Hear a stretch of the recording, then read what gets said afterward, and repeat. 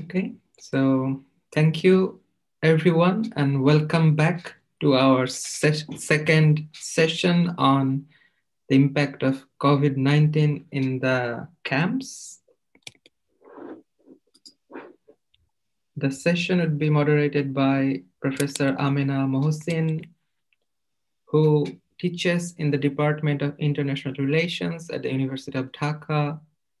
She graduated from the same department and later received her MA from the University of Hawaii, USA, and her PhD from Cambridge University, UK. Professor Amena has received numerous awards and fellowships. She works on gender and minority, state and democracy, borders and human security, and her work on the Chittagong Hill Track conflict is really prominent, and also other books and works are well admired worldwide. And she is a very well, well-known scholar and yeah, a public speaker, and probably everyone knows her in Bangladesh and in South Asia. And also she has extensive global exposure. So I would welcome Professor Amina Mohsin to start moderating the session. And please, uh, it's up to you now. Thank you. Thank you, Bayes, for your very kind words. Well, let, let me welcome all to the first working session of the two-day international conference on Rohingya on the crisis on the Rohingya crisis in comparative perspective. Well, this year, I mean, August 2020 marked the third year uh, since the latest influx of the Rohingyas into Bangladesh. And uh, in this context, it needs to be pointed out that Bangladesh, being the eighth most populous country in the world, with the population density of 1265 persons per square kilometer, is hosting the largest refugee camp in the Cox's Bazar. If one looks into the demographic of the composition of the refugee population, it is like this, that 52% of the, of, uh, the total population is women and girls, and uh, then 55% are children, 42% adults, and 3% are elderly population. Uh, this, this coronavirus, uh, it, uh, I mean, the refugee problem itself is, is a major crisis, as the earlier speakers had pointed out for Bangladesh, and the coronavirus added to it only. And there are several reasons for it. Uh, first, uh, one would want, I, I, would like to point out the congested nature of the camps itself, you know, camps themselves, that they are so congested. And then the contagious nature of the virus itself, I mean, that itself created a problem and a fear, not only among the Rohingya population, but also among the host community, that it might just spread, you know, and the host, there were, there were uh, major voices of concerns, and rightfully so from the host community, and also from the refugees themselves and then the stigmatization that was that is attached to the virus itself, uh, particularly during the initial period.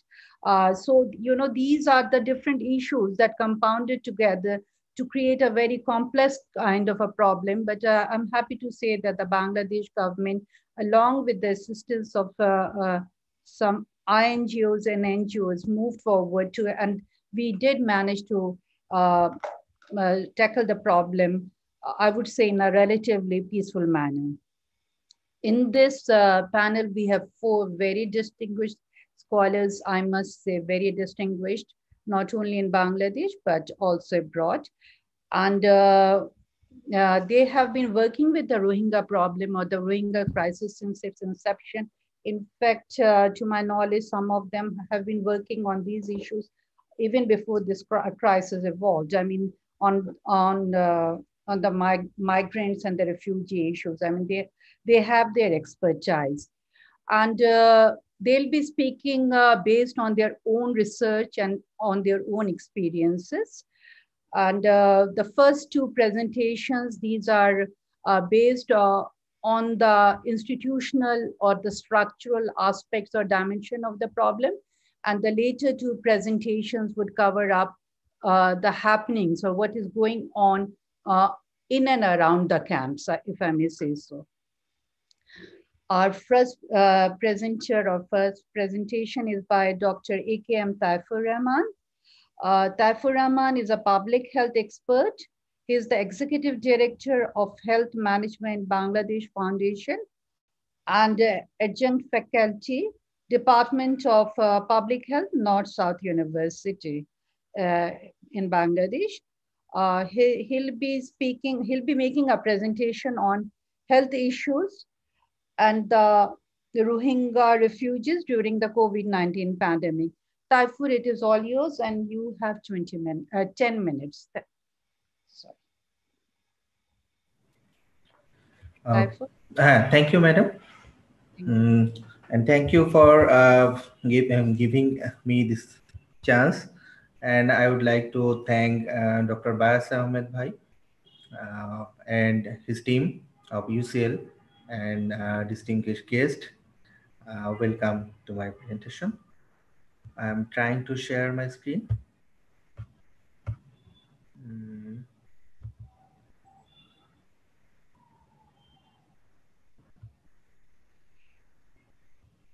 Yes.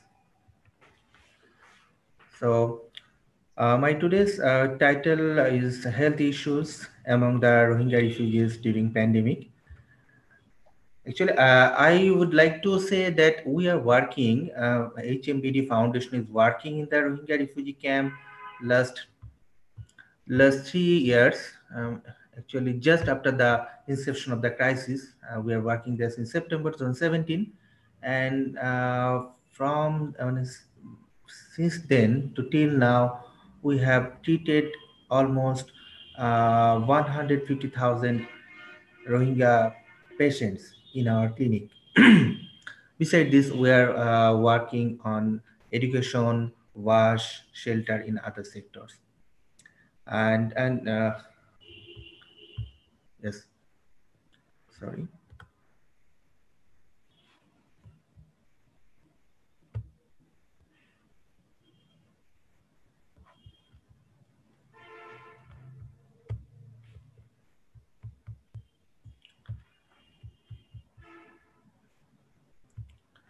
And uh, since August 20, uh, 25, 2017, more than 700,000 Rohingya refugees from Myanmar have fled to Bangladesh. Today, about 860,000 stateless Rohingya refugees live in the world's largest and most densely populated refugee camp at Ukhia and Teknaf of Cox's Bazar. With the emergence of COVID-19 global pandemic, this population is particularly vulnerable to the serious public health threat. And uh, this is at a glance about the health issues uh, for the Rohingya. Uh, COVID-19 cases in Rohingya camps until 29th November. First confirmed case in refugee camp on 5th May, 15th May 2020. Number of tests 18,421 and confirmed case 356. Out of them, male and female ratio is 50% and 50% as I as I um, heard from the health sector Cox's Bazar, and total death is 10, male 4, female 6. Recovered 311 uh, and in quarantine 1174, isolation 42. And lead organization who are working uh, for this COVID crisis, they are uh, uh, UNHCR, Refugee International, uh, MTI. MTI is Medical, Medical Teams International, International Organization for Migration, UNICEF, ICDDRB, uh, International Rescue Committee, MSF, International Federation of Red Cross, and others. And right now, available facilities in the Rohingya camp.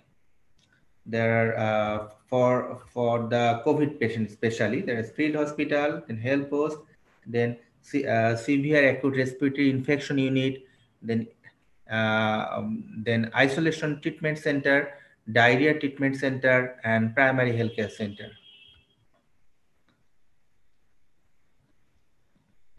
And uh, here you can uh, see the overview of total uh, isolation unit and severe acute respiratory infection and infection treatment center facilities in the refugee camp.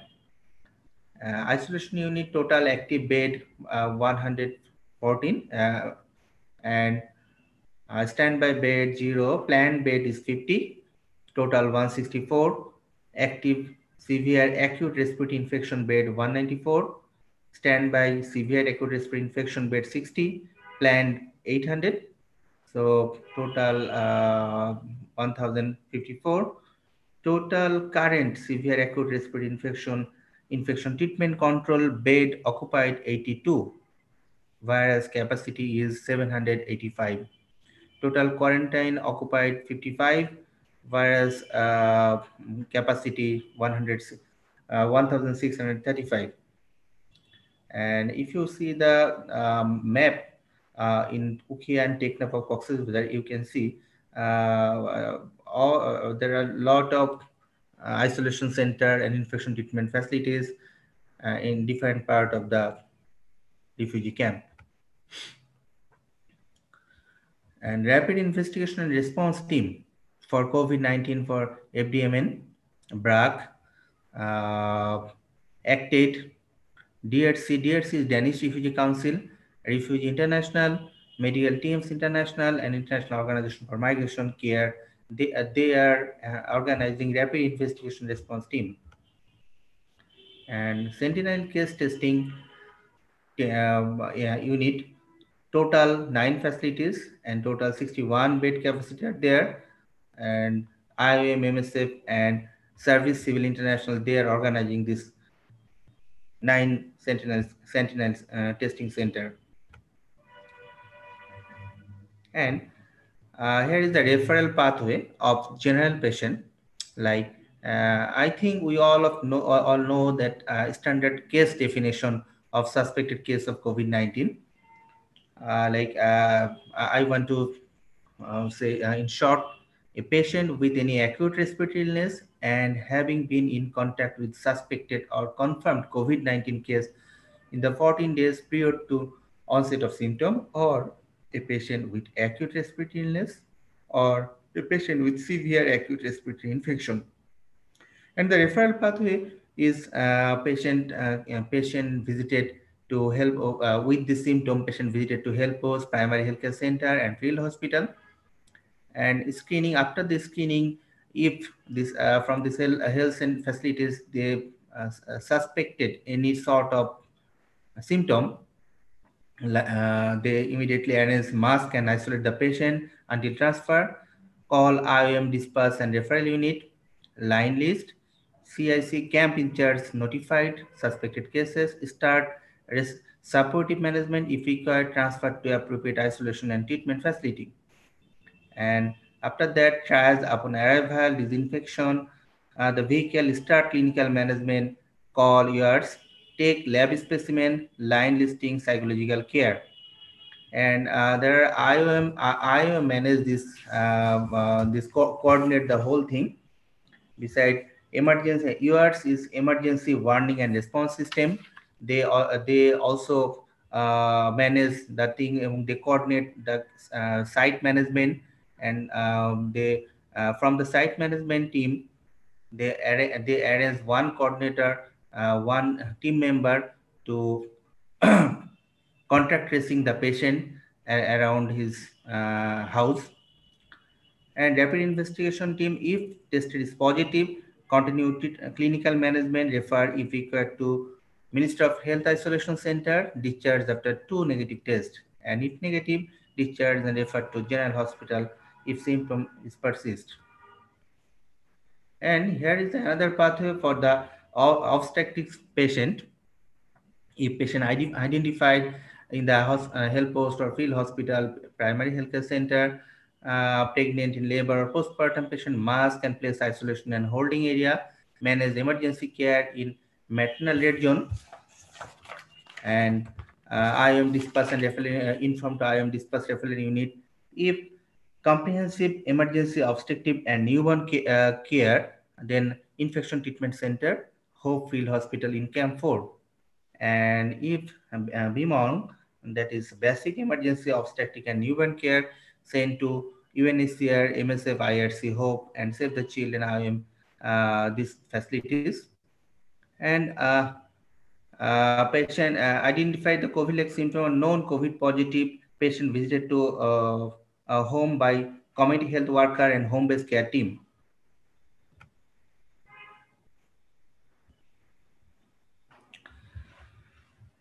And actually, I want to say uh, in the refugee camp, the COVID situation, COVID management and isolation center, infection treatment facility, these are, uh, uh, this is my, uh, my observation, this is better from, even from Dhaka. Even from Dhaka in Rohingya camp isolation center, they maintain the, the international standard uh, with, uh, with full health team in Dhaka, in uh, uh, in uh, I have the chance, opportunity to visit a lot of big hospitals, some of the big hospitals in Dhaka. they have scarcity of doctors, medical teams, scarcity of treatment, um, oxygen, etc., etc. But in Rohingya camp, this infection control center, this isolation center, all are well equipped, and and full team are working there. And and uh, last three years, uh, there are other sort of health services there like health posts, field hospitals, primary healthcare center, maternal child health centers. And right now all healthcare facilities are running their regular activities during this pandemic, maintaining social distance, personal protection, hand washing, screening, vital signs for COVID-19.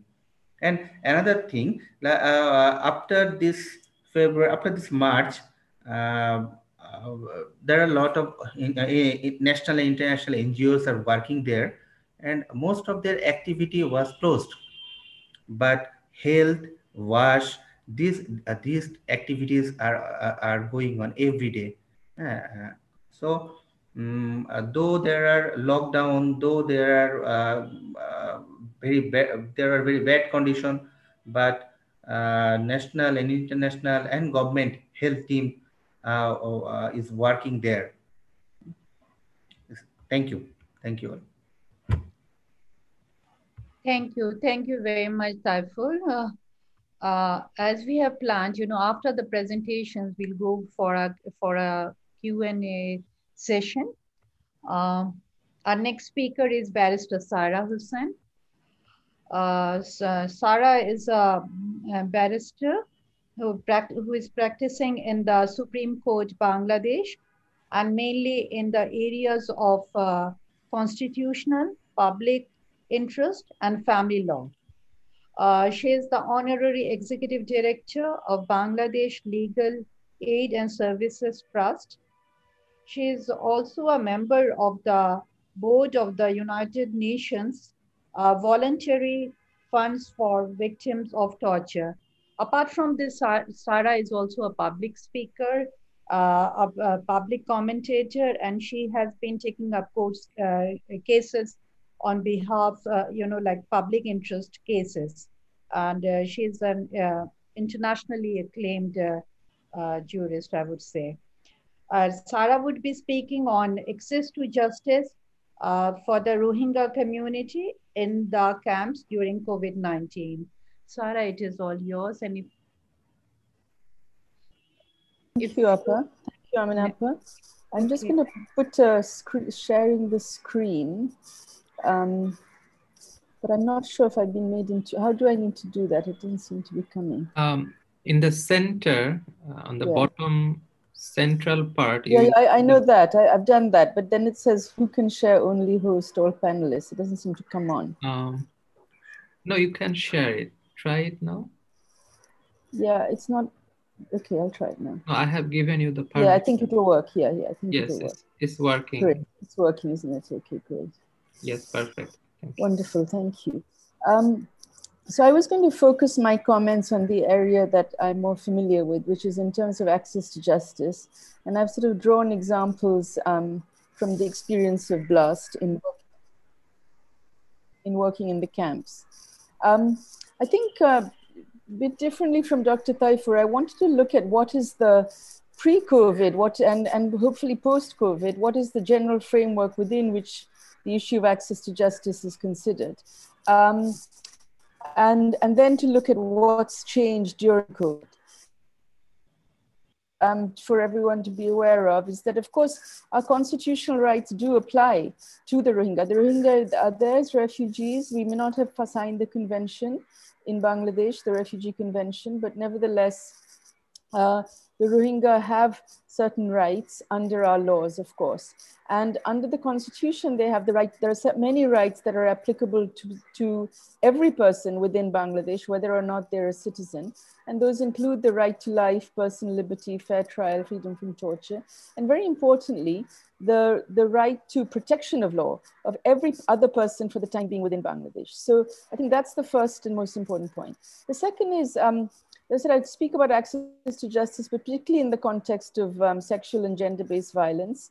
Um, and in that context also, we see that a number of our laws, our national laws, do apply also. They don't have any limitation on whether you have to be a citizen to be able to enjoy their protection. So for example, our, our special laws on violence against women or domestic violence or recent laws on child marriage, uh, the Supreme Court's directives around particular actions that need to be taken to ensure protection also apply irrespective of citizenship.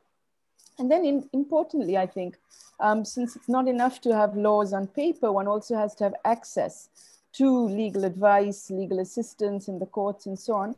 Our government's legal aid program and the law that deals with that also says that it's applicable to any person who is incapable of seeking justice due to destitution and helplessness. So it seems that that also would be, uh, at least uh, seems to be uh, something that would be available to the Rohingya.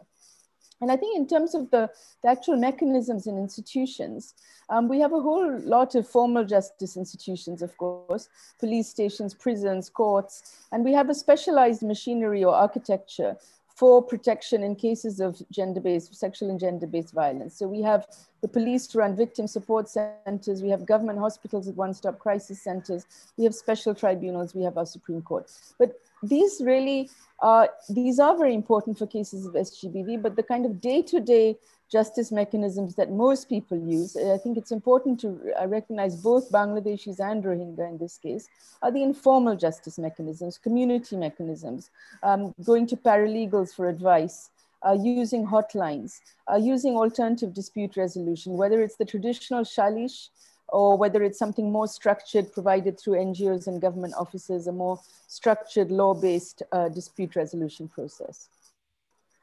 So what was, what was available before COVID and how did it change?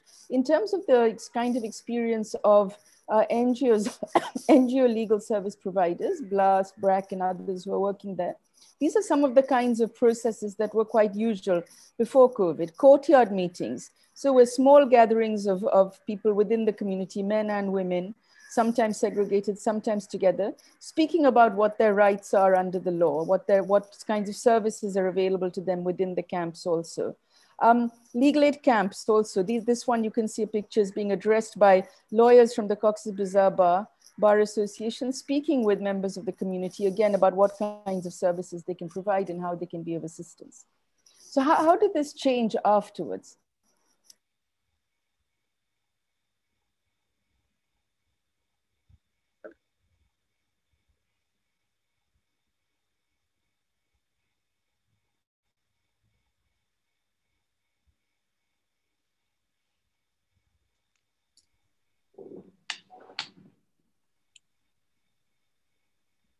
Uh, Professor Amina? Yes, I'm there. Can you hear?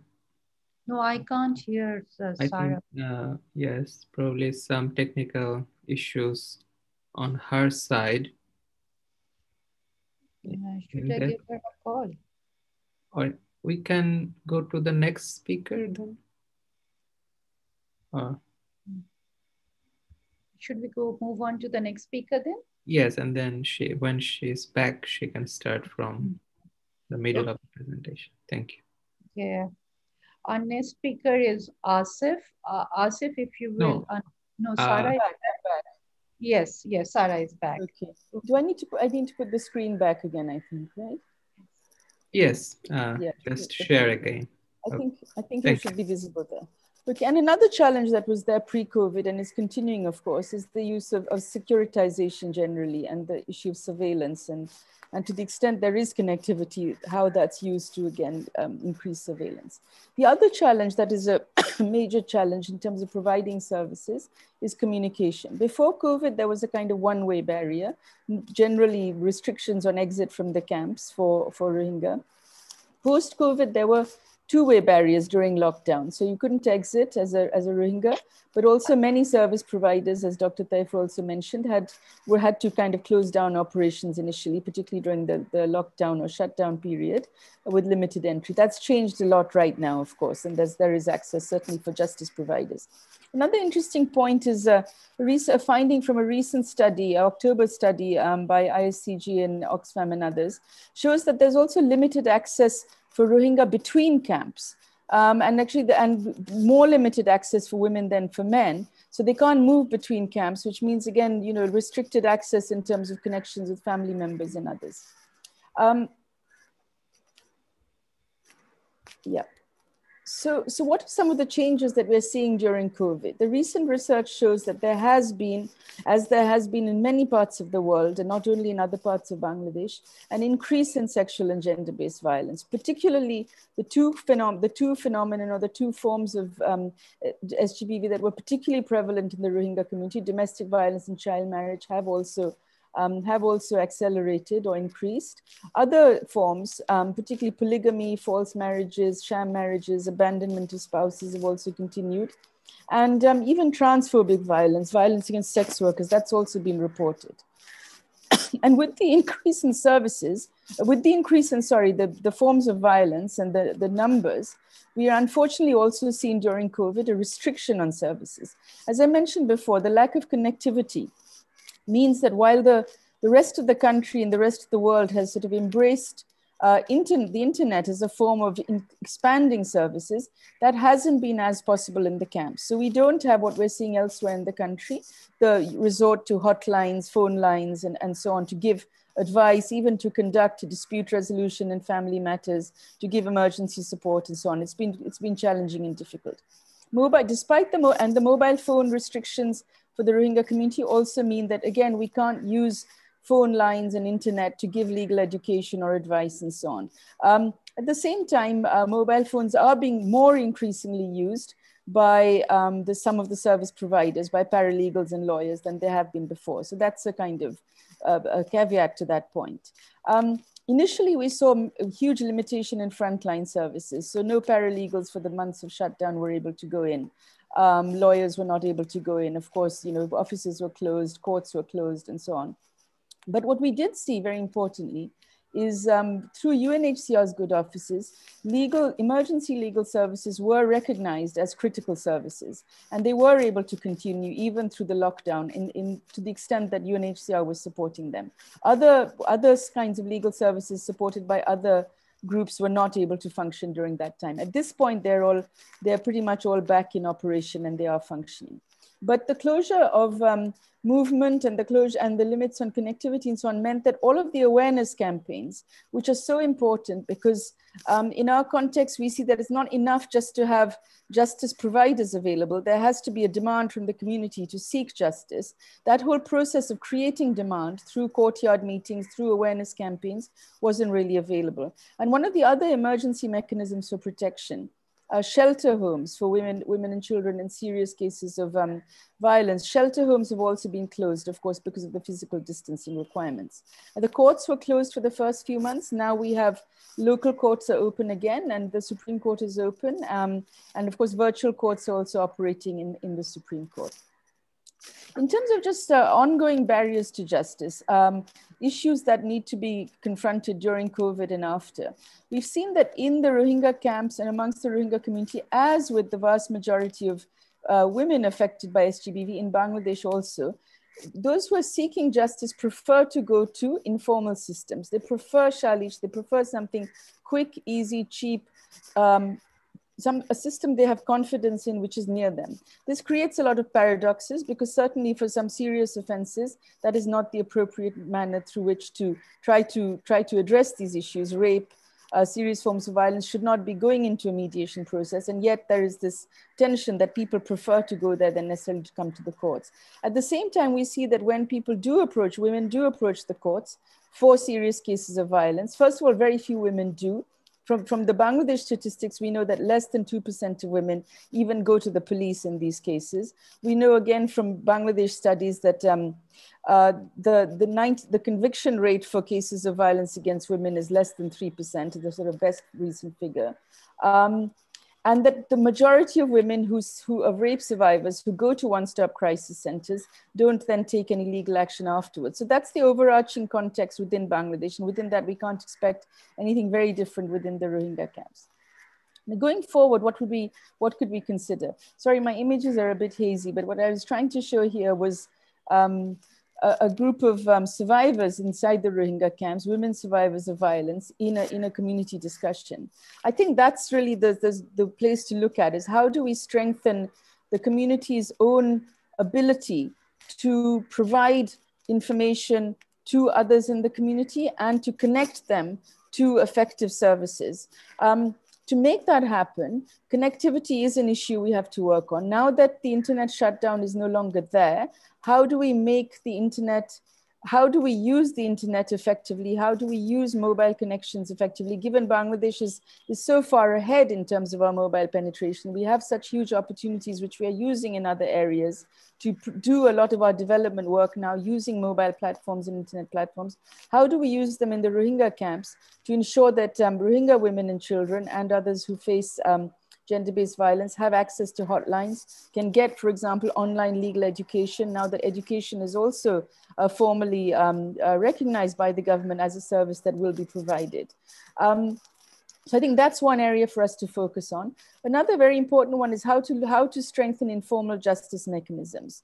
Um, and this can be done particularly, I think, through working with community paralegals. Right now, the paralegals are uh, young people from the local community, from Cox's Bazar in general, in some cases from other districts, working through organizations like BLAST, BRAC, Naripokkho, Madaripur Legal Aid, many others, Ain o Salish Kendra, and so on. But actually, the community paralegals can be from the Rohingya community themselves. At the moment, many of the Rohingya community can operate as volunteers working with some of these organizations. But if it, if it were possible for them to actually take on these positions formally, that would give them a kind of career pathway and it would provide a critical service within the camps as well. And focusing on mediation and alternative dispute res resolution is the other the other suggestion that we need to focus on. And very finally, um, I think the other area of access that we, we should be looking at going forward is with all of the COVID restrictions in place, how do we get the district legal aid committees, the government legal aid committees to partner with the NGOs that are already providing services in the camps to strengthen their outreach and access to, to um, those who need them, need their services? How do we ensure victim support from the police is responsive? And finally, how do we work on access to the courts, including the virtual courts, which brings us again circularly back to the question of connectivity. So I think that we've seen, just to sum up, we have seen challenges uh, during this pandemic period. We saw extreme challenges in the first few months during the shutdown, but we've seen now that we have transitioned from that to being able to provide frontline services again. The challenges in front of us are if we can confront the issue of how to ensure access to connectivity, then we can take some of the best lessons from the rest of Bangladesh about how the adaptation has happened and bring and integrate the Rohingya community into that process. Then I think we'll be able to be providing more solutions in terms of um, access to justice for, for the Rohingya community in the camps. Uh, thank you. I'll close my remarks there. Thank you. Thank you very much, Sara. It was a very comprehensive presentation. I must say, and then, uh, you know, we have had two very different uh, presentations, like Taiful pointing out that the situation in the Rohingya camp for the is was was better than the rest of Bangladesh. And then, you know, like, like uh, when you come in, you, uh, may, uh, you know, your presentation pointed out that how statelessness or a refugee situation, it is different, you know, like how we have different kinds of rights uh, for citizens and uh, like uh, what it does to stateless people. And uh, thank you for uh, pointing out uh, that under the constitution of Bangladesh, the Rohingyas, they do enjoy certain rights, you know, certain fundamental rights, and how Im important it is to have this connectivity and how important it is to remain connected. And I guess as the we are facing the second wave of uh, uh, COVID-19, uh, it would be, I guess, COVID-20, then let's see that, you know, if we are able to remain connected or not. But let's hope for that. But thank you for raising these points. I think these are extremely important uh, points uh, that the framework for justice needs to be there. And after all, our entire endeavor, endeavor is for the justice for the Rohingya people and, you know, for stateless and refugees all around the world. Our next uh, speaker is Asif Munir. Asif is a development uh, uh, professional, a human rights activist, and a cultural activist, and uh, in Bangladesh. And he's also a media commentator, and he uh, he generally uh, speaks on migration, human trafficking, and refugee issues. Um, Asif would be speaking on smuggling of uh, Rohingya refugees uh, during COVID-19. Asif, it is all yours. Thank you very much. And uh, thanks to the moderator and uh, the distinguished panel here, and also the participants. A very good morning, afternoon, and evening to you all. Um, let me just quickly share my presentation and then back to you.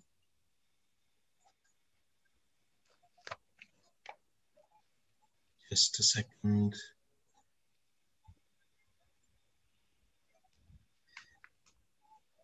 You have the presentation, just uh, it's not, uh, let me just fix the screen a little bit.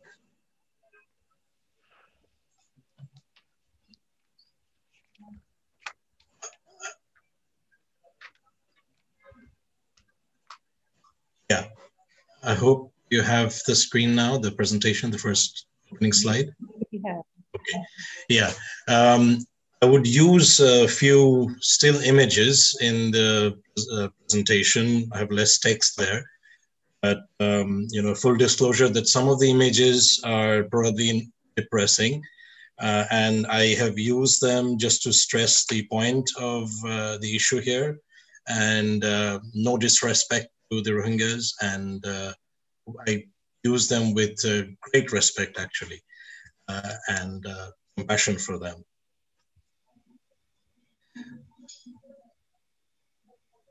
So um, this is just one heavy slide of uh, the text. You know, uh, when we talk about human smuggling and trafficking, sometimes, or sometimes it is termed as trafficking in persons but sometimes these are used interchangeably. What I've put in, I'm not going to read out the whole thing, but basically there are certain distinctions that um, globally accepted definitions of what human smuggling means and what uh, human trafficking means. Basic distinction is that for smuggling, it's of, of course exploitation, and there's a person or a group of persons exploiting with some kind of financial or material benefit. Whereas for trafficking in persons, I've put certain text in italics, which is threat of use of force and control of, of, over another person.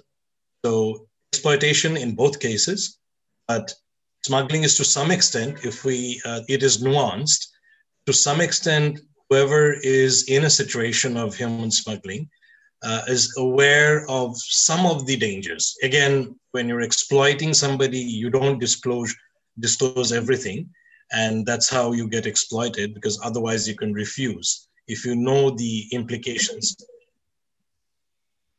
So um, for trafficking it's it's full force in terms of uh, actual yeah. So in some cases of course a smuggled person can become uh, in, in a trafficking situation.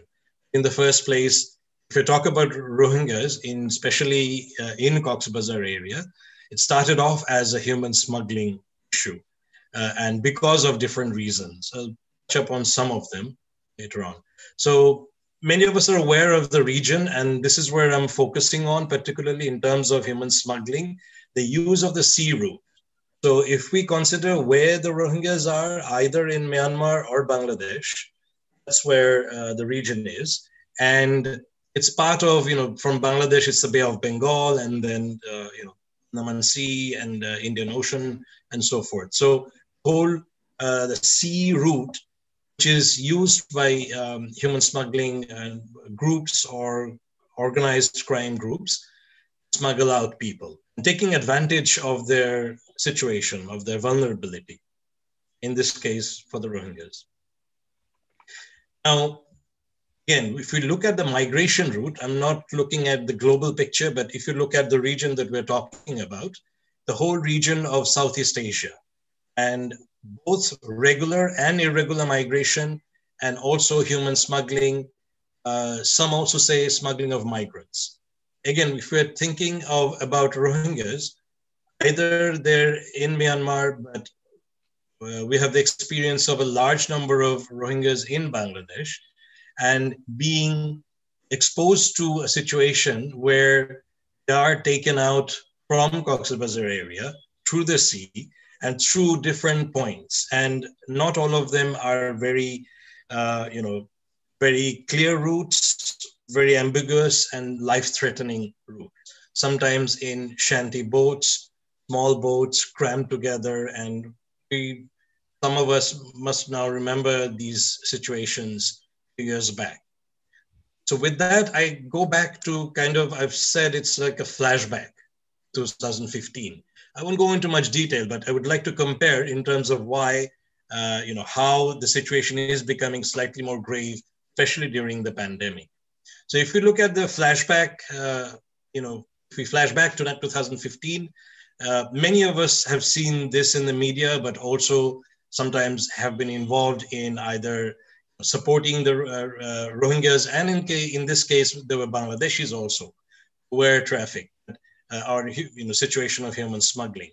And all around the route, so it's Malaysia, Indonesia, Thailand, uh, and some not even being able to go further than Bangladesh. So being again repatriated back, or for Bangladeshis through Myanmar.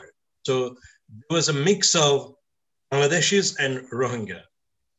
And come to some of the images. And you probably remember all these images. So I'm not going to uh, show you too many of these, but just to stress, if you look at the people on the boats here, um, in the in the image on the left, um, there's of course there's children and uh, there's mixed group, men, women, and children. And next one is about know, the food supplies and when they were stranded in sea and when there was an indecision by the different countries in South Asia whether to allow these people on the boats the shores. Eventually they were. But this is again one of the and I've used these images from open sources, so these are available on the net. And this is again from, from around that time, 2015. And many of you who have or who work with Rohingya population within Cox's Bazar or elsewhere, uh, you probably know in terms of uh, the attires they have, especially for women, distinct from uh, Bangladeshi women. Traditional headscarf or headwear, but also the overall dress. And would like to put forward that these are Rohingya women. Now, how do I say that? And why do I say that? Um, apologies again, because you probably see the back of my head in the image. I was working with one of the international agencies a few years back in 2015. And I can say with conviction that the Bangladeshis who were rescued in 2015 all were men. So if we go back to this image again, women Rohingya women.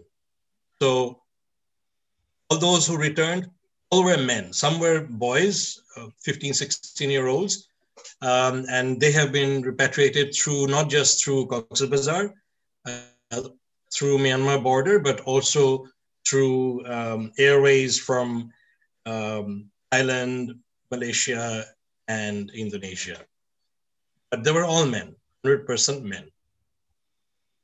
Now, Fast forward 2020.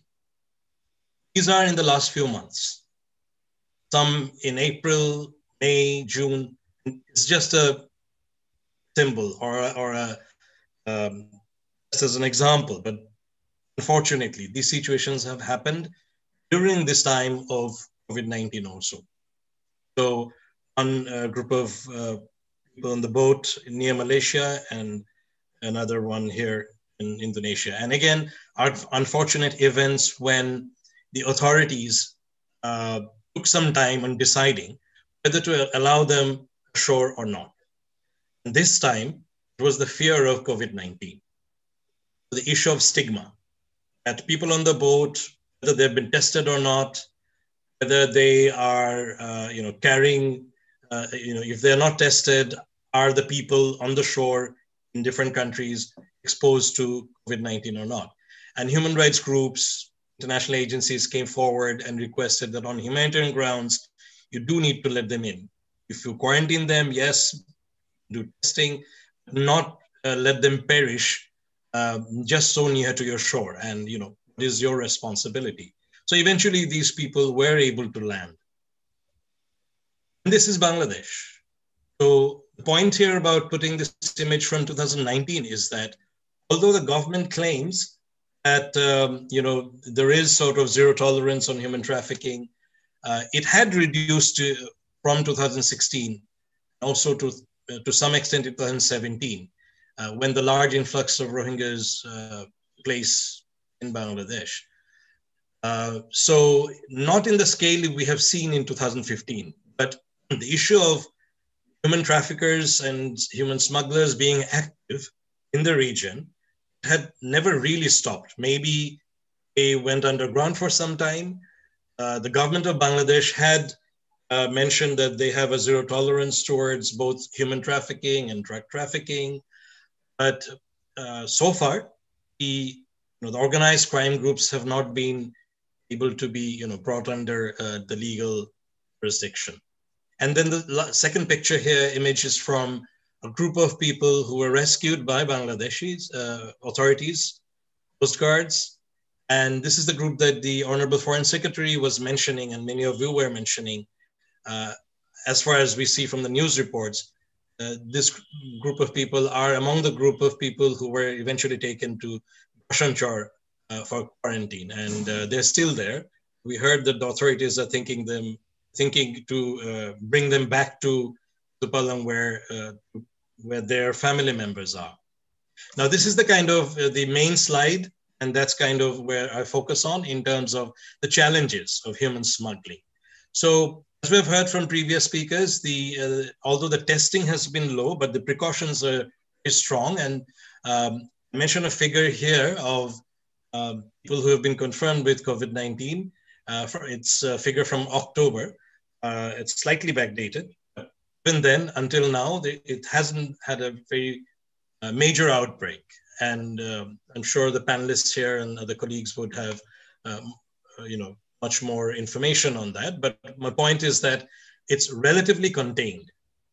But what has happened, and sorry, you just mentioned that, of course, the a lot of the humanitarian actors um, have now been able to uh, work a little bit more but over the last few months, it was very thin. And that kind of creates separate sort of issues in terms of human mobility, but also the crisis factor and the risk factor. So I mention here is about the double jeopardy. So, uh, you know, Aminappa, you mentioned about the second wave, but also uh, we have to see the trend that, uh, especially during the lean season, so winter season, when the sea are slightly more calm, that's when human traffickers and smugglers are more active. If we talk about the Mediterranean Sea, that's what happens. Although on turbulent waters, they also take the opportunity if people are willing to travel. Definitely for this region, we're talking about the time period now, December, January, February, and all the way up to maybe April and May. This is a very high risk period this is coming from either researchers or people on the ground, and this has been seen before. That is the trend. The human smugglers are more active during the winter season because the sea is slightly more calm, And it's easier to convince the people. People have seen images of people drowning and they're being able to convince that, look, this is uh, now less risky. We are now entering a period, both for COVID 19, but also for human smuggling. Of course, we've heard about the escalation of conflict and people wanting to move out. And one of the options people may think that, okay, if I can uh, go to another country, uh, and one of the reasons probably is that the tensions between the Bangladeshis and Rohingyas are slightly increasing. Uh, and also difficulty of monitoring the law and order situation. I mean, putting up fence is fine, uh, but you know, human traffickers and smuggling groups or groups of organized crime, they wouldn't cut the wires and enter. They would uh, enter through different entry points in and around the camp. Uh, and my guess is that they can still be active unless there are sort of the spread of the law enforcing agencies or even volunteers, or even whether CCTV systems or you know more surveillance mechanisms are put in place. Um, hardwire is of course one thing, and of course there are in reinforcement of law enforcing agencies. In terms of human trafficking and smuggling, not enough.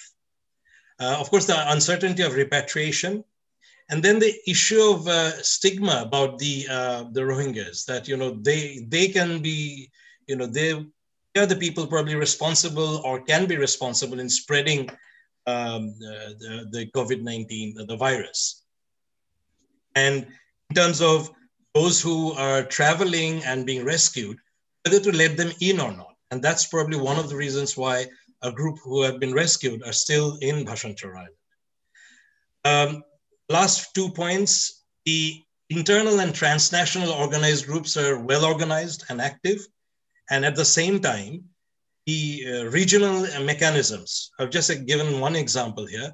Bali process is an intergovernmental uh, network of uh, you know, countries looking at or addressing human trafficking. But uh, since 2015, they've talked about reinforcing and working together. Nothing much has happened. So uh, you know, whether there are actually solutions within the challenges here. Move end with a new dimension is that beyond the Southeast Asia is Australia, and that's again, you know, again not just a stigma, but it's also uh, some kind of xenophobia. Also, I've taken this image from the internet. It's about a, a video from the Australian government discouraging uh, people to use sea routes, of course, for irregular migration, not the regular migration.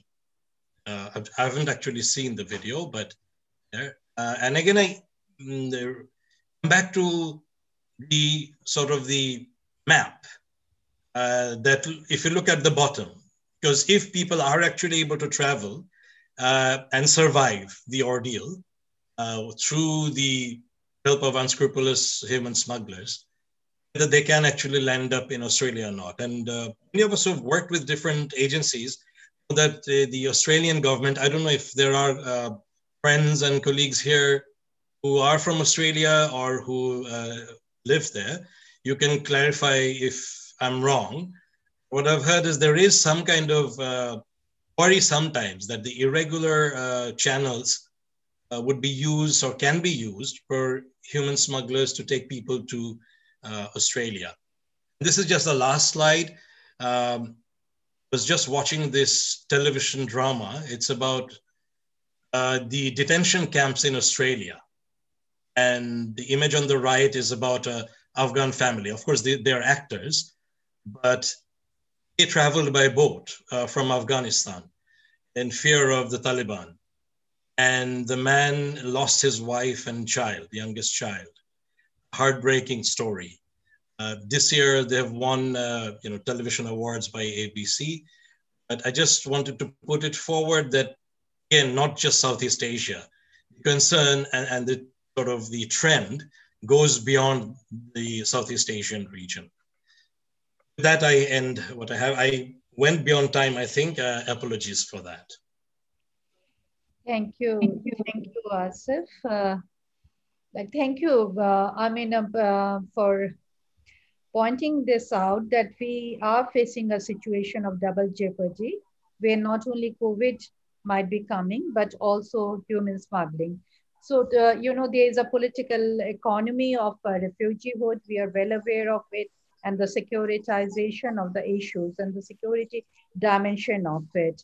Uh, because of uh, paucity of time, maybe I'll just quickly move over to our final speaker, Dr. Meghna Guha Thakurta. And uh, after Meghna speaks, uh, maybe we can take uh, 15 minutes extra from the lunch break um, that uh, Bayes mentioned earlier, which will be our dinner break.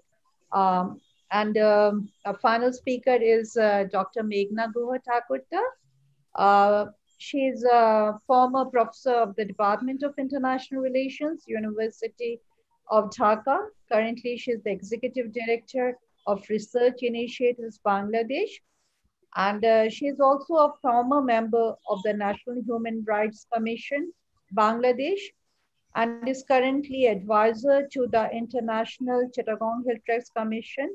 Meghna writes uh, extensively on minority, refugee, and gender issues, and uh, her organization, Research Initiatives Bangladesh, has been involved with the Rohingya issue uh, for a long time. And uh, Meghna will be speaking on facing COVID-19, Rohingyas and the host community. Uh, and Meghna, it is all yours. Thank you very much, Amina. Um, I'm also going to try to be very brief because of the uh, lack of time, uh, but I'm very happy to answer any questions. I like, I prefer question and answer sessions more to lectures. So uh, here goes. Um, anyway, I think um, basically uh, a lot has been said about stigmatization and refugees um, uh, and we have also seen that happening in, in terms times of COVID, where migrants uh, as such are quite um, uh, discriminated against in terms and stigmatized because of being carriers of germs. So very interestingly, um, although the Rohingyas were stigmatized, and, uh, and very interestingly, both in terms of the Bangladesh side, host governments as well as the Myanmar side. So even in Myanmar, uh, they were, uh, and through some conversations with people living in Myanmar, they was telling us that the government of Myanmar thought Rohingyas were carriers of COVID-19 and therefore return repatriation is not a doable thing right at this moment. So, um, and in Bangladesh too, um, they were, uh, and I think our foreign uh, um, secretary also um, told us that there was consternation about the fact that there will be massive, uh, massive kind of spread uh, in the camps. Um, very interestingly, um, uh, they, uh, I found in some of my studies that some of the NGOs who were in charge of site management in the camp were asked to actually extend the graveyards. Um, very, very um, quite scary. But unlike many other uh, speakers have said, nothing that, um, uh, you know, and some numbers have been given. So we were happy that the outbreak was not as strong as it was feared and that um, much of the, um, uh, the, the, community could uh, had the resilience to face the, uh, the COVID um, and um, but there were certain differences between uh, and and one of the reasons which many reasons have been pointed out for that the good offices the good institutional mechan- mechanisms of the health sector etc i don't know enough about that but i do know that in the intersectoral coordination body, uh, there were a lot of uh, international expertise present who were from Southeast Asia, who had faced SARS and uh, also had faced Ebola in Africa. So the, um, the presence of this health uh, expertise did have and could inform the, um, and of course, we had the UN agencies who were abiding by the WHO principles from the very beginning of the uh, situation. So you, you did have that kind of a mechanism uh, which informed the administration. And I think it did play a part because um, uh, and now I'm going to, uh, we ourselves, RIB has a project in that area, which is actually looking at uh, the how the Rohingya influx is, uh, is affecting the host community, but we also work with Rohingyas through our participatory action research, and we try to get both perspectives and uh, try, and the whole and it's been uh, the project's been going for a year and we have uh, i think uh, trying to address the tensions that there and many people asked questions about it in the last uh, session that the tensions between the host community and the refugees and uh, how to address this or to how to mitigate the tensions. Um, so uh, from there we because we were present on the scene we decided to uh, we weren't allowed to go into the camps because we weren't an essential service or a critical service. Uh, but uh, so therefore uh, we tried to do some phone-in interviews with the people we were working with and try to understand from their perspectives both rohingyas and the host community how they faced covid-19 um, among the Rohingyas, they said that food, shelter, gas, water supply, which were considered to be essential uh, supplies, were not a problem. They continued to receive those as before, the same amount of food as before. So that was not a problem.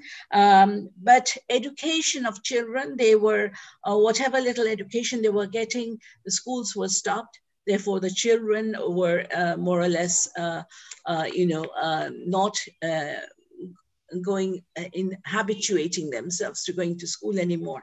and then the construction works was was stopped, infrastructure was closed, and that affected some of the um, the cash, the cash, you know, cash for work um, source uh, that sometimes Rohingyas were given uh, by working as volunteers. They were given at least a limited amount of cash, and that helped them to tide by their emergency situations sometimes. So that was stopped, and they they did feel the difference.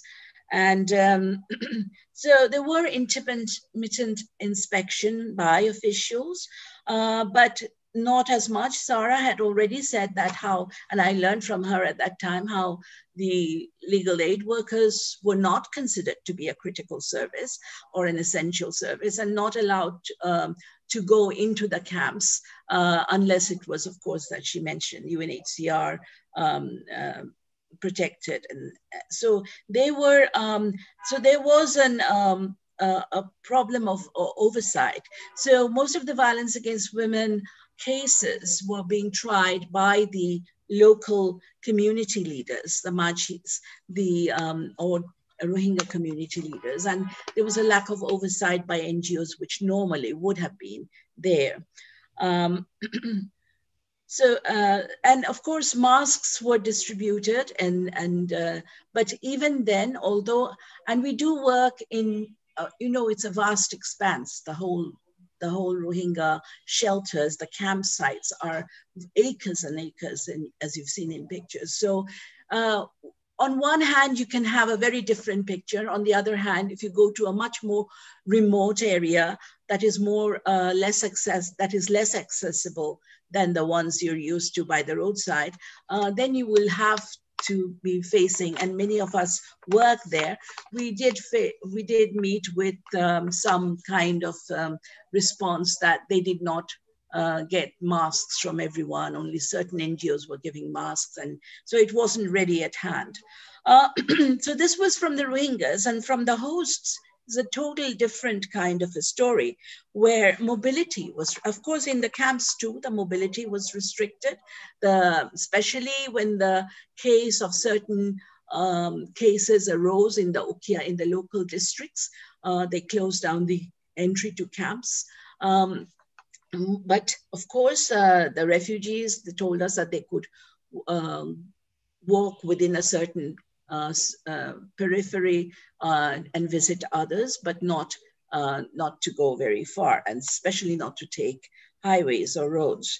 Um, in the host community also, the mobility was restricted, but they were far more affected by this restriction of mobility than they were by COVID because uh, uh, there, is, uh, there were checkposts on every corner, especially on the road to that you go to the market. So there were times when uh, the host community said that we were only allowed to go once a day to the marketplace.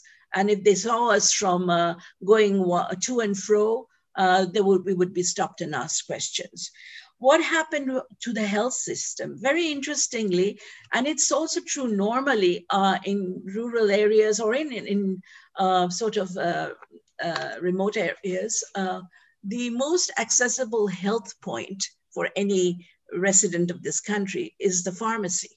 Uh, the compounder of the pharmacy will suggest a medicine and you will get it. So it's quite normal to uh, to know this. But in the in the times of COVID, they were uh, they did not go all the way because sometimes it is impossible to take a long hike into the nearest health planning uh, center. So they would have to, they went to the pharmacy for some suggestions for aspirins or whatever that was suggested to them.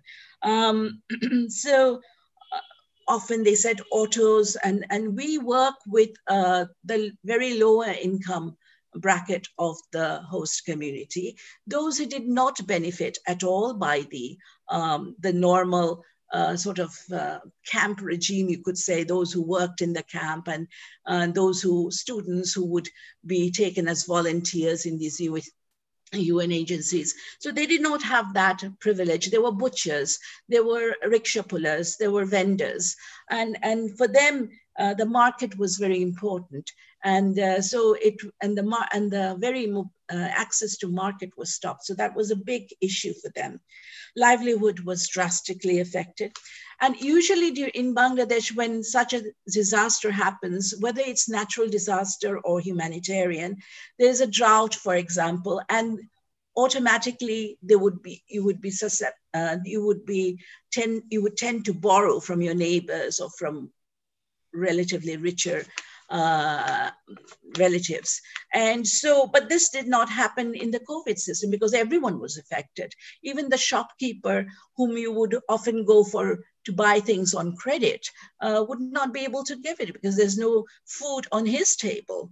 And so, so these are these are situations which draw us to the differences in, in humanitarian disasters like this, humani- double humanitarian disasters, one from a, a, a, district affected by a refugee situation, and second, by an epidemic or a pandemic.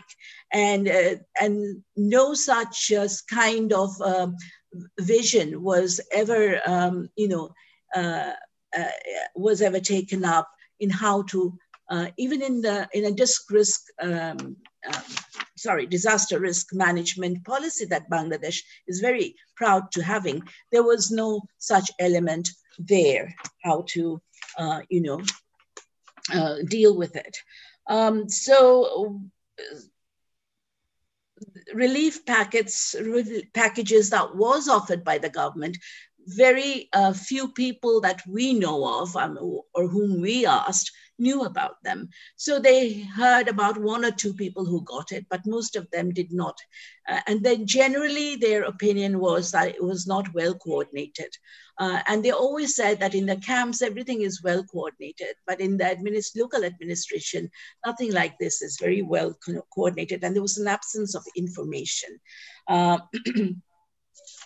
So uh, basically, I'll end here and I can go on to more asking answering more questions, in fact, uh, is uh, that I, we thought that some of the recommendations that came up from them was that violence against women should be looked at as a critical service in every disaster situation. Um, then there should be better coordination of relief in the host community. Uh, a mechanism was not worked out at the local level as it should have been. There was more knowledge should be available to services by citizens uh, should be accessed by citizens about knowledge of how to get access relief, access medical help, etc.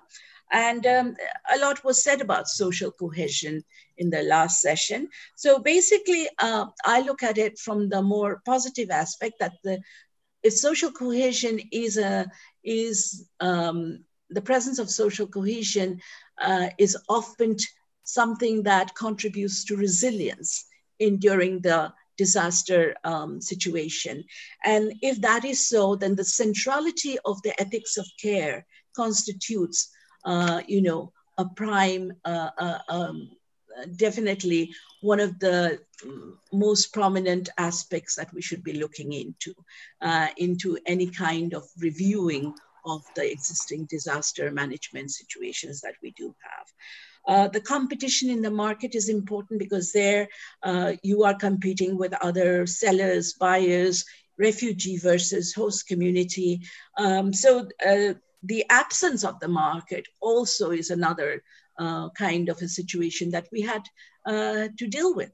Uh, there was hardly any you know, one one of the things yes the prices rose high where there was a market but where the daily uh, buying and selling was totally absent because of the lack of transportation uh, was another problem. And many, unlike many uh, disaster situations, the um, our people often the first uh, step that they take is um, starvation. They they instead of taking two meals a day, just have one meal a day. They and that is this situation that we also felt when faced uh, in the host community. And in talking about cohesion, I also think that we should be, I'm just making a general point here, um, but that gender and diversity should also be part of that cohesion. So you cannot have social cohesion uh, of uh, uh, with with just one principle. You should look at age, you should look at gender, and you should look at cultural diversities. Thank you. Thank you. Thank you, Meghna. That was a very exhaustive, I must say, very exhaustive presentation. You brought in the host community perspective as well. And um, before we, uh, you know, like we open up the uh, floor, I would say for discussion, if we can have uh, 10 to 15 minutes of discussion and question answers. I would say, you know, like when you pointed out uh, violence against women, that came out also through uh, Sara's presentation and education that was also Sara mentioned that online education. I mean, these should be considered as uh, essential services. Uh, so when we talk about the impact of COVID-19 on the uh, on the refugee situation, refugee situation, I think it is through a rights framework that one needs to look into it. But now we'll uh, open up, uh, open the floor up for the a discussion and question answer. Atik or Bayes, if you, whoever would volunteer, if there are questions and some observations in the chat box. Atik, yes. are you ready? Yes, um, please. Um, yes, I can read out some questions. Yes, please. We got, we got seven questions. The first one from Laboni Khatun why there is still lack of spatial policy for the Rohingya people in Bangladesh? That's the question. Lack of spatial policy. The second question is from Anisullah. What percentage of COVID-19 inside the camps compared to host communities? A question to Dr. Taifur Rahman. the next question is, from Shapan Adnan. Do the informal dispute resolution mechanisms in the Rohingya camps differ from the traditional Shalish bench in Bangladesh? And if so, how? In what ways? Andre Powell is about, my question is on how are Rohingya organizing to face the COVID-19 risk? next question is should not UNESCO be active to disabuse Bangladeshis that Rohingya COVID carries? Should they not be encouraged to mount campaign to lessen any such stigma? What about the UN TV channel to make honest documentary which could be shown in appropriate language in Bangladesh, Indonesia, Malaysia, and Myanmar? So these are the some quick questions. The last one is from Tekang. Today is celebrated as the International Day, which would living with disabilities. What cha challenges does these persons, probably the Rohingyas who live with disabilities, and how is Dhaka helping them out? So these are, the last question is from Malik. Madam, do you fear, uh, I can't read it, uh, uh, genocide? I'm not sure. These are the some questions. Uh, so yeah, wide mix of audience and yeah, different types of questions. Yes, you can sum it up and quickly uh, answer them. We are getting more questions, so I will come back to them later. Thank you. So, uh, like uh, if we can go the, you know, like uh, there, there are specific questions to Taifu, uh, to um, Sara and uh, Sara. Sara. And then uh, Meghna, if you can take up the genocide question and Asif, if you can also respond to the other questions. And Sara, what was the genocide question? Could you repeat it, please? You see a genocide. The genocide question, what was it? Uh, Bayes, it was that do you see a uh, genocide uh, happening or again? It says, do you fear a subaltern genocide? In Bangladesh? I don't know yeah. what it says. It just says, Madam, do you fear yeah. a subaltern genocide? Uh, I mean, this question was not written properly and we can keep it. Okay. We can just keep it. I mean, maybe they're thinking that, you know, is it going to be a situation where, uh, you know, uh, like gross violations of rights or something, maybe something like that, you know, it might come to that. You fear a subaltern genocide. Okay. Okay, okay I get Sara, it. Okay. Uh, Sara, you can, can start off with the health. No, uh, no, if Sara can start off with that, she had two specific questions on the. Uh, yes, sure. So one question is from uh, Dr. Shapan Adnan about Shalish and whether it's the same in the Rohingya communities as in the Bangladeshi context. Um, I, I, think I think there are some important differences probably, uh, differences in practice. One is in terms of the kind of law that's being applied because um, neither of the forms of shalish necessarily apply what is statutory law in Bangladesh, but more an understanding of what the legal norms are. Um, and that understanding will may be different for the Rohingyas. So I think that process is different. And I think the way the even the traditional shalish in Bangladesh has been quite has has I guess um, changed quite a bit because of its interaction with various interventions by NGOs and others. Uh, I don't know that the Rohingya uh, internal community dispute resolution has changed as much, but it seems to me it's a very good question in terms of something that needs to be studied more. Um, because it, in, in the Bangladesh context, at least the traditional shalish was adapted by many to provide a, a, acceptable dispute resolution process, but which was one that operated more within the frame of a fairer structure uh, applying national laws and trying to ensure that, for example, women were more involved in the process um, and that they had more voice. So it, it, if we were to learn more about what the Rohingya community dispute resolution is, then that could, it could follow a similar kind of path, I think. Um, the other question that seems to me for me is about the question about disabilities. And the question is, what is, how is Dhaka working on issues around people with the rights of people with disabilities. Um, there are some uh, major organizations, Bangladeshi organizations, such as the Center for um, Development in Disabilities, which are working very much in the camps. But in terms of Bangladesh in general, the, uh, there's a legislation on the rights of people with disabilities. Um, there's other legislation as well There's for setting up a neurodevelopmental disability foundation. Um, so there are a number of initiatives in place in terms of the law and of course some policy commitments as well.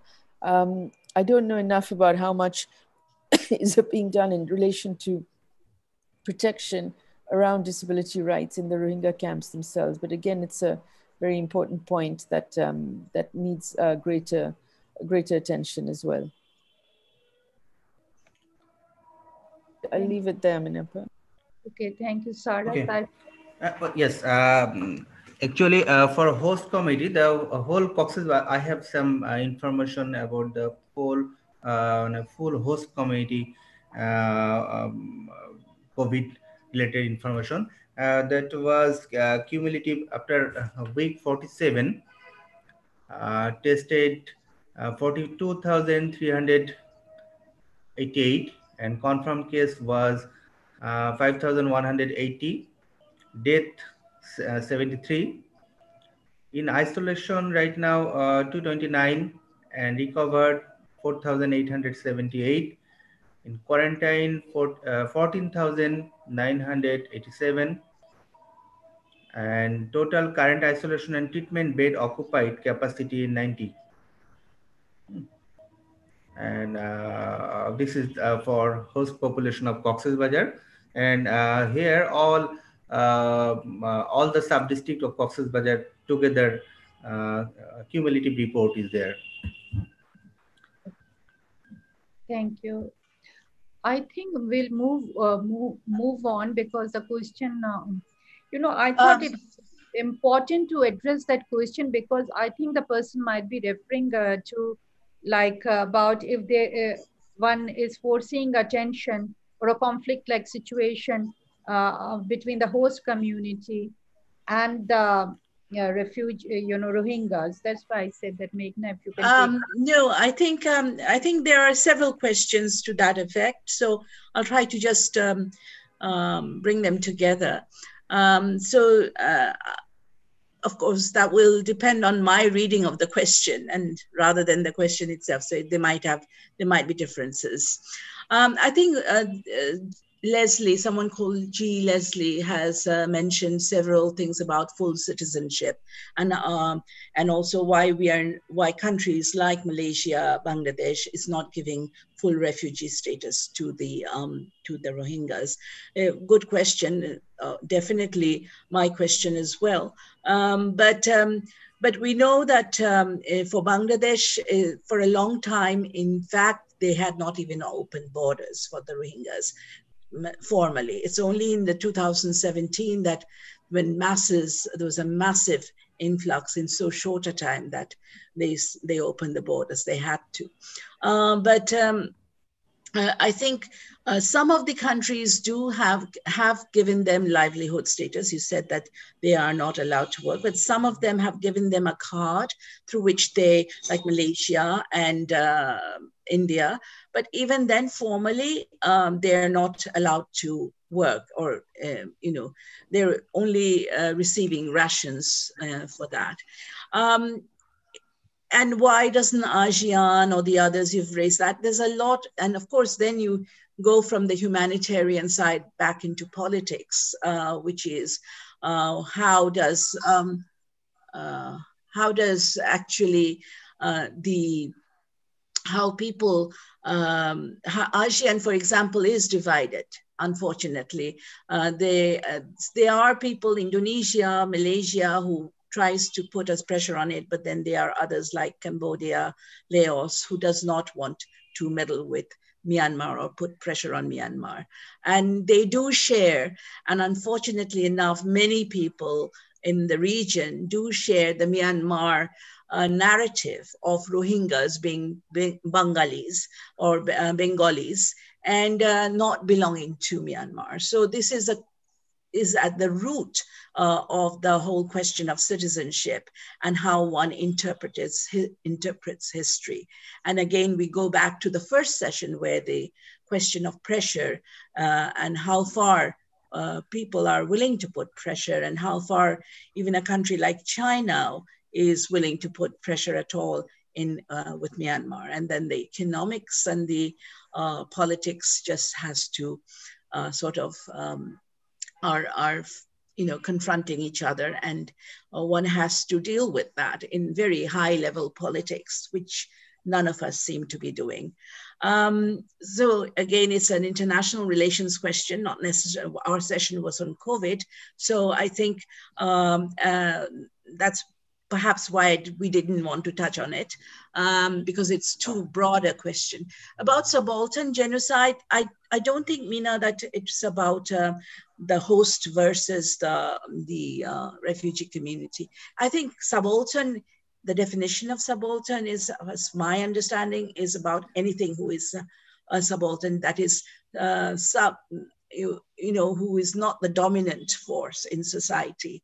Um, and although I would say that refugees um, are uh, definitely not the dominant force in our in in the areas that they reside in, but I would say that the people we work with, as I said, with uh, with uh, butchers, with uh, vendors, with rickshaw pullers, they're also not the dominant forces in their society. So I don't know whether they where they that person calls it. But genocide, you know, there's a specific um, definition to genocide, which I'm not going to go into here, but it does not fit that uh, that definition does not fit here because interestingly, the region in which Ukia and Teknaf, where the refugee situation is, is actually a very multicultural society. There are, there are Rakhine people there, there are indigenous people there, uh, and they are, um, you know, um, Hindus and Buddhists and Christians there living there as citizens of Bangladesh. And um,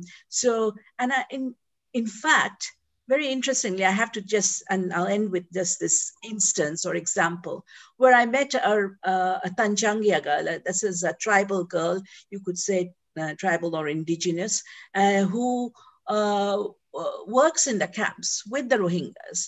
And I asked her that, and they have similar features like the Rakhines. So I asked her whether she was at all, you know, accosted by the Rohingyas and distrusted or or they were uh, aggressive about it. And she said, yes, initially they were. They said, do you come from the Rakhine? And and she said, but then I answered that no, I've never been to the Rakhines. I've never been across the border. I am from this country. And, uh, but I speak the same language as you do. That is the Rohingya language is very close to the Chittagonian dialect, or at least 70% of it. So, uh, so they, she speaks that language, being in in that area. And that brought in a com- commonality and a trust. So, very interesting the language question and the ethnic question and the identity question within a kind of a multiverse, uh, you know, kind of a, a system. Uh, how does the identity come through? Uh, lots of questions that we can ask, but I'm, it's not a space to go into. It. Thank you. Thank you. Thank you very much. Bayes, I think we are pretty much running out of time. If there are, uh, yes, i think we should give our attendees at least half an hour for lunch or dinner okay. break because but, the next session starts yes. in 30 minutes. Yes, I'm. Uh, but if Asif would like to just uh, say something in, in a couple of minutes. Yes, uh, take five minutes. Thank you. Thank you, Asif. Thank you. I'll be quick. I think on based on some of the comments, very overall few points. Uh, someone mentioned about, Leslie, you mentioned about uh, why there's no policy. I think uh, particularly for the Rohingya issue, government, Bangladesh government has a policy. Uh, it has had for some time, but with an evolving situation, it's difficult to stick to a particular line with evolving situation. The policy keeps evolving, but as far as we understand, a lot of the policy um, initiatives are still confidential in the sense that it's not very public knowledge. Uh, the, from the government side, uh, they have sometimes and they do sometimes share with others. And whenever that is the case, we collaborate or we sort of provide our suggestion. So I would say that there is a policy, and even you know the situation of uh, the uh, move towards Bhashanchar today or tomorrow, it's part of that policy. Um, and just one more comment about you mentioned about the use of the media. I'm sure, especially in terms of dealing with stigma. So I'm sure a lot of the organizations who are working in the field, uh, starting from NGOs, both national and international, UN agencies, there are different mechanisms to deal with the stigma. I'm not sure, particularly for the COVID 19, stigma around COVID 19, how much the agencies have been able to work on that because again the field operations were very limited I suppose now, uh, if there are still that issue that can be worked on, I just want to add one point that I noticed that particularly the Bangladeshi media, whether, I mean, mainly the television media, it's very anti Rohingya and very demonizing and one sided. Generally, I see sometimes exceptions. And some of us Bangladeshis here are commentators on local media as well. And we have to fight with the journalists and the angles they put that it's all their fault. Everything is their fault. Whatever happens in Cox's Bazar, law and order, everything is their fault. So there's quite a lot of generalizing, a very one-sided view by the local media. So some kind of media education is probably required. Stop there. Thank you. Thank you. Thank you very much. It had been a, I must say, a very exhaustive and a very comprehensive session. We have had uh, four presentations on different dimensions of the uh, situation in the camps and outside the camp in Cox's Bazar during the COVID-19 period. And since uh, we do not have much time, I'll just wind up by saying that, uh, uh you know, like I think uh, from the presentations, what came out very importantly for me at least was how, how does one define essential services? I mean, this is very important because we have seen that, you know, about violence of women, uh, issues on connectivity. It, it is important. Connectivity is important for the mental wellness or mental well-being or psychological well-being of uh, human beings. So that thing, and uh, we have experienced it through the uh, COVID-19 situation that how important this connectivity has been. So, you know, this essential services, I think at the policy level, you know, uh, one can make interventions. I think this panel would be uh, able to make some interventions uh, about uh, essential services and uh, that legal services are important because when it comes to violence against women and also you know like people with disabilities today we are celebrating the international day of people with disabilities or people with special needs. So these are important questions that have come out. Also smuggling, you know, that is something that one needs to uh, look into because uh, it is something one is doing with consent, one is aware of, as you mentioned, Asif. So if one is aware of, so one has to look at the political economy side of it. And uh, I would say that, you know, like conclude by saying that if there are uh, you know, like maybe there are concerns that uh, because of the ongoing uh, or uh, nature of this crisis and also because of the ongoing na nature of the of COVID-19 and now that we are uh, predicted to go into the second wave and we are experiencing it, Bangladesh is experiencing a um, you know spike in it. So if there would be more tension or more violence, that I would say that, uh, you know, our foreign secretary did mention that Bangladesh is, uh, you know, very cognizant of the rights situation and the security situation uh, are in and around the camps. So I guess that is not something that I see as coming. And uh, with that, I would like to conclude and uh, thank you very much uh, to all the speakers Thank you very much to the organizers. My apologies for shooting over time and my apologies to the persons, you know, from whom we could not take the questions. I could see many hands rising, but I'm afraid uh, that we had have to cut short. And uh, thank you very much. Bye. It's over to you. Thank you.